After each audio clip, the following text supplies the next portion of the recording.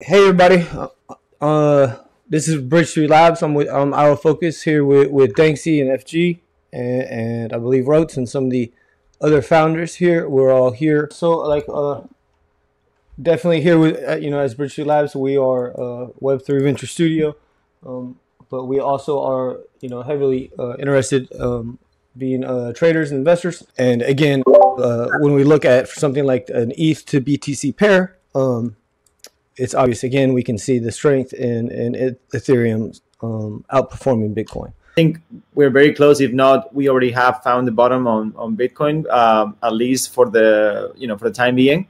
Now it looks like you know the spotlight is back in Solana. Not only they keep innovating with a bunch of things, but now it looks like they're pushing for an ETF. So I call them the Fantastic Four. Right? It looks like the, I mean I have them on my short list and and they're my largest positions in the meme coin space. I think it's very important that we pay attention to the close this week. If we have a positive close this week, I think next week we can have fireworks. I think Solana is really trying to to ca- catch up to their to their the same amount of users. I mean, if you see what they're building, Solana is nonstop building, right? That's why I'm the oh, yeah. most bullish on that chain and everything they're doing. I don't know if you, Io, and or anyone here has taking a look at Blinks, uh, a Blinks that is coming up, but it's it's a game changer. I am. I think the whole tech and equity sector is kind of like pricing in what's coming up with the elections. And tonight, yes, we have the first debate. So I think we should make some bets. Thanks. Have Trump will say crypto or Bitcoin.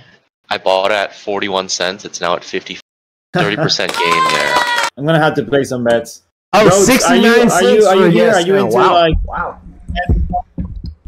This a- if Biden is opening a wallet, I'm I'm sending him some some tornado cash. Yeah, real quick, it, Rhodes, it, Rhodes, for any of y'all listening, Rhodes TV is uh, another analyst and team member with uh, Bridge Labs. You can. I think uh, you know NFTs are meant to be this asset that does not trade frequently. It's meant to be uh, something that is a form of collectible, a form of ownership, identity, etc